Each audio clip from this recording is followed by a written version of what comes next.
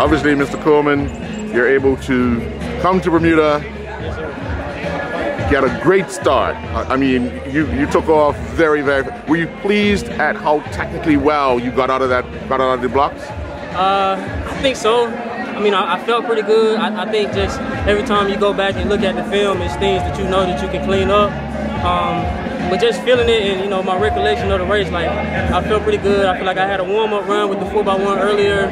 Um, so I knew I was ready to roll, ready to run hot. I just knew I had to, like, execute that start and hold on, you know, run my phases at the end. And I felt pretty good, so. Knowing that you had to keep those mechanics right, right through to the end, did you ever look over to see if anyone was coming or you could hear them coming?